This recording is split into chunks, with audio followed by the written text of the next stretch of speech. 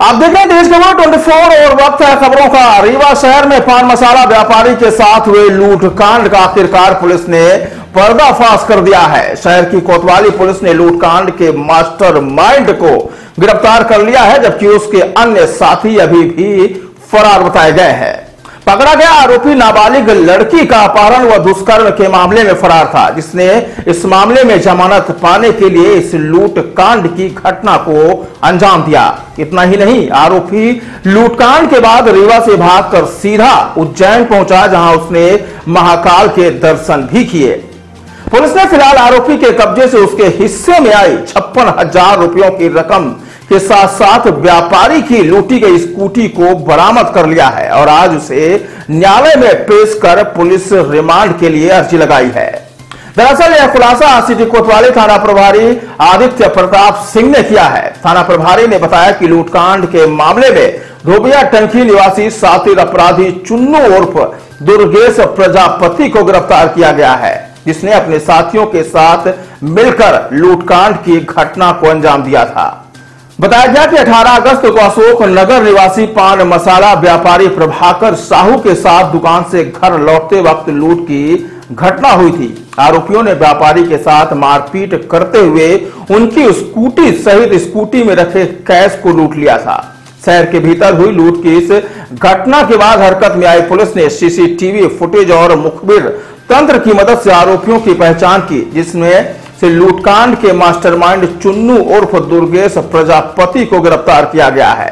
Police के मुताबिक आरोपी ने लूट के दो दिन पहले ही एक नाबालिग लड़की का अपहरण किया और शादी का झांसा देकर दुष्कर्म की घटना को अंजाम दिया था।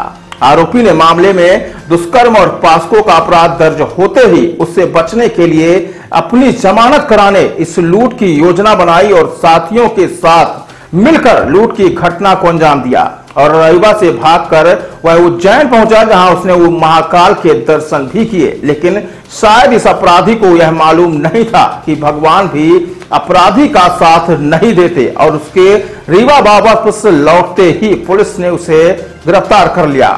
पुलिस ने बताया कि आरोपी लगातार झूठ बोलकर पुलिस को गुमराह करने का प्रयास कर रहा था, जिससे पैसों की बरामदगी के लिए आज न्यायालय से रिमांड ली जाएगी और उसके अन्य साथियों के संबंध में भी पूछताछ कर उनकी तलाश की जाएगी। बता दें कि इस पूरे खुलासे में कोतवाली थाना प्रभारी और उनकी टीम की बेहद ही अहम भूमिका रही है। व्यापारी के साथ की घटना हुई आरोपी पकड़े गए, क्या मामला है? ये प्रभाकर साहू हैं जो कि धोबिया टंकी के पास कटरा रोड में, इनका पान मसाले का होलसेल का व्यापार है। और ये रहते हैं अशोक कॉलोनी में, जो कि पाणन टोला के सामने नई बस्ती बसी है, वहाँ पर उनका घर है। प्रतिदिन की तरह वो दिनांक 18 तारीख को दुकान बंद करके साढ़े दस बजे के आसपास अपने घर जा रहे थे और वो की आदत में था कि वो रात में जो भी दिन भर का पैसा होता था बिक्री का, वो अपना स्कूटर, स्कूटी की डिग्गी में रखते थे और आगे आगे जाते थे और पीछे पीछे उनका नौकर मोटरसाइकिल से अलग जाता था, उनको घर तक पहुंचाता था। और उसके बाद फिर वो पहुँचाने के बाद वापस चला जाता था। दिनांक घटना को भी ये अपने घर जा रहे थे साढ़े दस बजे के आसपास। तो पाणन टोला में जो स्कूल है, उसके थोड़ा सा पहले, हजारी चौराहे के आगे, वहाँ पर थोड़ा सा अंधेरा टाइप का है।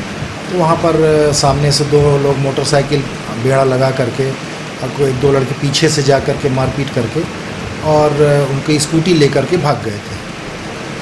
और उसमें जिसमें कि ढाई से तीन लाख रुपए मार था और बाकी स्कूटी, करीब सत्तर अस्सी हज़ार की स्कूटी, इतना ले करके और वहाँ से भाग गए थे। कुछ लड़के जो थे वो पैदल आए थे, कुछ मोटरसाइकिल से, दो लड़के मोटरसाइकिल से आए थे। इस घटना के बाद से जैसे ही ये घटना की प्रकाश में आई, तत्काल उसमें अपराध पंजीबद्ध किया जाकर के, अपराध पंजीबद्ध किया जाकर और तलाश शुरू की गई, सारे सीसीटीवी पूरी रात सीसीटीवी फुटेज चेक किए गए और उसके बाद लगातार जितने मुखबिर तंत्र था उनको सक्रिय किया गया। और कई स्थानों पर सीसीटीवी में कुछ लड़के स्कूटी को जो दो लड़के लेकर भागे थे, केवल वो भागते दिखाई दिए। उस आधार पर पूरे शहर में पहचान कराई गई और धुंधले, हर जगह सीसीटीवी फुटेज भी धुंधले मिले। लेकिन लगातार सक्रियता और पुलिस के जो पुराने मुखबिर थे, उनको लगाया गया। जानकारी मिली कि एक चुन्नू नाम का अपराधी है। वो उस दिनांक को धोबिया टंकी के आसपास उसके बाद फिर हजारी चौराहे के आसपास भी देखा गया था।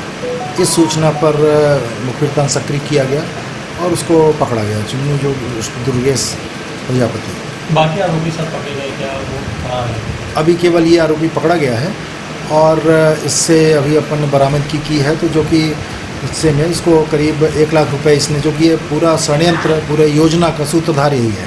इसी ने लड़कों को इकट्ठा किया था, पूरे लड़कों को, और करीब तीन चार दिन से रैकी कर रहा था, और कि कितने बजे निकलता है, ये सारी चीज़ें। और उसने प्लान करके और लड़कों को इकट्ठा करके अलग अलग सबको जगह लगा करके, और इसने घटना कारित किया था। और बाकी राशि भी अपने सब दोस्तों में जो साथ में घटना किए थे, उनमें बांट दिया है तो अभी ये पकड़ा गया है, जिससे भी छप्पन हज़ार रुपये नगद मिला है। लेकिन ये लगातार झूठ बोल रहा है। कभी कहीं बताता है कभी कहीं तो लगातार जहाँ जहाँ बता रहा है वहाँ वहाँ तलाशी ली जा रही है। तो इतनी राशि मिली है।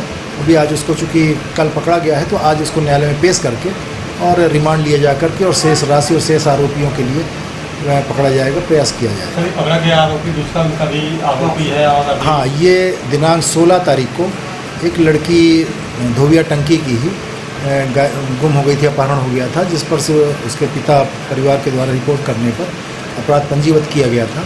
और 18 तारीख को जब लगातार मुकदमा होने के बाद ही लगातार पुलिस दबाव बनाई, चारों तरफ़ से घेराबंदी की, तब उसने 18 तारीख को लड़की को मुक्त कर दिया था। तब लड़की के कथन लिए गए, न्यायालय में कथन कराए गए तो उसके द्वारा बताया गया कि शादी के विवाह का, जो कि नाबालिग बच्ची थी, विवाह का प्रलोभन दे करके उसको अपहरण किया था, उसके साथ उसने बलात्कार किया है। उस पर धारा तीन सौ छिहत्तर बढ़ाई जाकर और उस मामले में भी चूँकि इसी जो अपराध अपराधी है चुन्नू यही उस घटना को भी कारित किया है तो उस मामले में भी इसको गिरफ़्तार किया गया है जो कि न्यायिक अभिरक्षण में पेश किया जा रहा है इसके पूर्व भी कुछ अपराध इसके पूर्व में इसने धोबिया टंकी में तलवारबाजी की घटना की थी उसमें भी ये गिरफ़्तार हो चुका है और उसके पहले भी इसने मारपीट के और चाकू चलाने की घटनाएँ किया है तो लगभग इसके पास छः सात अपराध पूर्व के हैं।